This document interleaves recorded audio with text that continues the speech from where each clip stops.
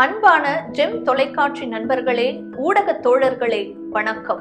நமது ஜெம் தொலைக்காட்சி இரண்டாயிரத்து இருபத்தி ஓராம் வருடம் ஜனவரி மாதம் முதல் தேதி ஆரம்பிக்கப்பட்டது.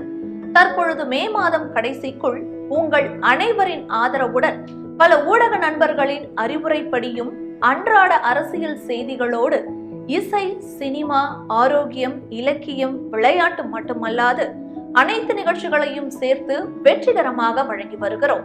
ஊடக மற்றும் வாசகர்களின் வேண்டுகோள் ஏற்று ஜூன் மாதம் முதல் உள்நாட்டு வெளிநாட்டு அரசியல் சரித்திர நிகழ்வுகளை வழங்க முடிவு செய்துள்ளோம். உங்கள் ஆதரவு தொடர வேண்டுகிறோம். அதன் எதிரொலியாக இன்று நாம் வழங்கும் இது போன்ற தகவல் தொகுப்புகளை தொடர்ந்து வெளிவரும். இதனை பார்த்து உங்கள் மேலான கருத்துக்களை வெளியிட கேட்டுக்கொள்கிறோம். இந்தியாவின் நறுமண பொருட்கள் வைரம் போன்ற அரிய பொருட்களை வியாபாரம் செய்திட பண்டைய காலங்களில் எகிப்து சுமேரிய கிரேக்க ரோம நாட்டைச் சேர்ந்த மன்னர்கள் வியாபாரிகள் கேரள தமிழக இலங்கை மன்னர்கள் ஆண்ட பகுதிகளுடன் மத்திய தரைக்கடல் மற்றும் ஈரான் வழியாக நிலம் மூலமே வியாபார தொடர்பு வைத்திருந்தனர். பின்னர் இந்த நிலை வழித்தடத்தில் ஓட்டமான் பேரரசு மற்றும் முஸ்லிம் மன்னர்களின் எழுச்சியால் இந்த நிலம் மூலமாக நடைபெற்ற வியாபார வழித்தடம் ஆயிரத்து ஐநூறாம் ஆண்டுடன் முழுவதுமாக தடை பெற்றது. இந்த காலங்களில் கடல்சார் தொழில்நுட்பத்தில் திறமை பெற்றிருந்த தமிழர்களின் கை மிகவும் ஓங்கி இருந்தது. அதன் பின்னர் கடல் வழியாக இந்திய நாட்டுடன் தொடர்பு கொள்ள ஐரோப்பிய மன்னர்கள் பல்வேறு முயற்சிகளை முன்னெடுத்தனர். அவ்வாறு இந்தியாவை தேடி சாந்தா மரியா எனும் கப்பலில் சென்ற கிறிஸ்டோபர் கொலம்பஸ் என்ற கண்டுபிடிப்பாளரால் ஆயிரத்து நானூற்று தொன்னூற்று இரண்டு முதல் ஆயிரத்து ஐநூற்று நான்குக்குள் அமெரிக்க கண்டம் கண்டுபிடிக்கப்பட்டு உலகில் புதிய நிலங்கள் கண்டுபிடிப்பு மூலம் பெரிய மாற்றத்தை ஆரம்பித்து வைத்தது என்பது கூடுதல் தகவலாகும்.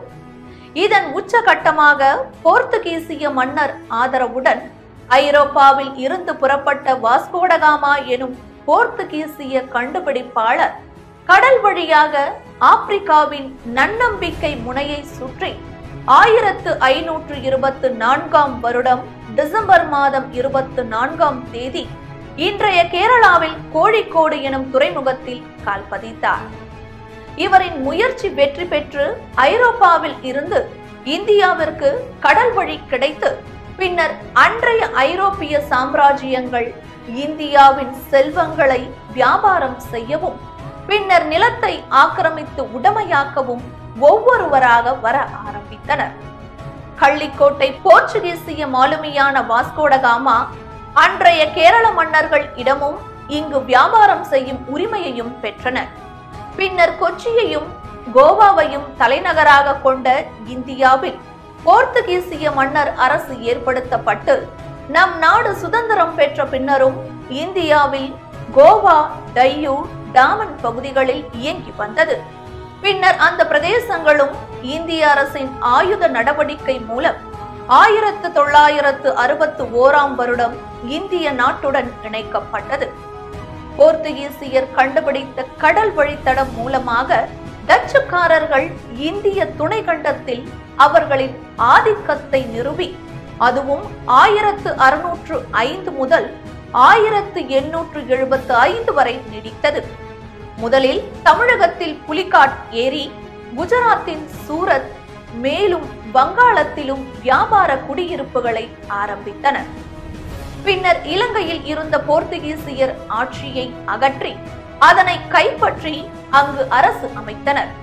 பின்னர் இந்தியாவில் காலூன்ற அரசு அமைக்கும் எண்ணத்துடன் டச்சுக்காரர்கள் இலங்கையிலிருந்து பெரும் படையுடன் இன்றைய கேரள கடற்கரையை அமைந்துள்ள குளச்சல் துறைமுகத்தில் முற்றுகையிட்டு தாக்கினர். அன்றைய திருவிதாங்கூர் மன்னர் மார்த்தாண்டவர்மா அவர்களின் படையினர் ஆயிரத்து எழுநூற்று நாற்பத்து ஓராம் வருடம் ஆகஸ்ட் மாதம் பத்தாம் நாள் நடந்த சண்டையில் டச்சு படையினரை வீரத்துடன் சண்டையிட்டு அவர்களின் கடற்படையை தோற்கடித்தனர். இந்திய வரலாற்றில் ஐரோப்பியர்களின் கப்பற்படையை ஒரு இந்திய மன்னரின் படை தோற்கடித்தது. அதுவே முதல் முறை என சரித்திரம் படைத்தது. இந்த தோல்வியுடன் மற்றும் ஆங்கிலேயர்களிடம் ஏற்பட்ட தோல்வியுடனும் டச்சுக்காரர்களின் இந்திய காலனி ஆதிக்க கனவு கலைந்து போனது. பின்னர் பிரெஞ்சு மன்னரின் ஆதரவுடன் கிழக்கிந்திய கம்பெனியினர் இந்தியாவில் ஆயிரத்து அறுநூற்று அறுபத்து நான்கு முதல் பல்வேறு இடங்களில் வியாபார தளங்களை ஏற்படுத்தினர். பிறகு உள்ளூர் மன்னர்களை வென்று தங்கள் வியாபார தளங்களை ஆட்சி அதிகார பிரதேசங்களாக மாற்றினார்கள். பின்னர் அப்போது இந்தியாவில் இவர்களுக்கு போட்டியாக வந்த பிரிட்டிஷ் ஏகாதிபத்தியத்தின் மோதலால் இந்தியாவில் பாண்டிச்சேரி காரைக்கால் யானம் மாஹி சந்திரநாகூர் என்ற சிறிய பகுதிகளுக்குள் அவர்களின் ஆதிக்கம் ஒடுங்கிவிட்டது. பின்னர் ஆயிரத்து தொள்ளாயிரத்து ஐம்பத்து நான்கில் இந்திய அரசுடன் ஏற்பட்ட ஒப்பந்தத்தின் மூலம் அந்த பகுதிகளும் இந்திய அரசின் ஒரு அங்கமாக கரைந்து விட்டது இந்தியாவில் பிரிட்டிஷ் அரசாங்க ஆதிக்கம் கிழக்கிந்திய பிரித்தானிய கம்பெனியினரால் ஆயிரத்து அறுநூற்று பனிரெண்டு தொடங்கப்படுகிறது. பின்னர் அவர்கள் உள்ளூர் மன்னர்களை ஒவ்வொருவராக வெற்றி கொண்டு ஆயிரத்து எழுநூற்று ஐம்பதாம் வருடம் ஜூன் மாதம் இருபத்தி மூன்றாம் நாள் நடந்த பிளாசிக் யுத்தத்தில் மற்ற ஐரோப்பியர்களை விட இந்தியாவில் பரந்த நிலப்பரப்பை கொண்ட அரசாகவே மாறிவிடுகிறார்கள். பின்னர் ஆயிரத்து எண்ணூற்று ஐம்பத்து எட்டு இந்தியாவில் கம்பெனி ஆதிக்கத்தில் இருந்த பிரதேசங்கள் இங்கிலாந்து அரசின் நேரடி கட்டுக்குள் கொண்டு வரப்பட்டு பிரிட்டிஷ் சாம்ராஜ்யம் உருவாகி அதுவும் பல்வேறு அரசியல் சமூக பொருளாதார மாற்றங்களை இங்கு உருவாக்கி. ஆயிரத்து தொள்ளாயிரத்து நாற்பத்தி ஏழில் இந்தியா சுதந்திரம் பெற்ற பின் அவர்களின் ஆட்சியை முடிவுக்கு வருகிறது. இதில் முக்கியமாக கவனிக்கப்பட வேண்டிய கலாச்சார மற்றும் மத ரீதியான நிலைப்பாடு என்னவென்றால் வடக்கிலிருந்து முஸ்லிம் மன்னர்களின் அரசியல் கலாச்சார ஆதிக்கமும் தெற்கிலிருந்து ஐரோப்பிய சாம்ராஜ்யங்களின் அரசியல் கலாச்சார ஆதிக்கமும் இந்தியா முழுவதும் மெல்ல மெல்ல பரவி ஆக்கிரமித்தது. எனினும் ஆதிகாலம் தொட்டு பல்வேறு மத இன மொழி கோட்பாடுகளை கொண்ட இந்தியர்களின் பொதுவான மரபு ரீதியான குணங்களில் அவை எந்தவித மாற்றங்களையும் ஏற்படுத்த முடியவில்லை என்பது ஆணித்தரமான உண்மையாகும்.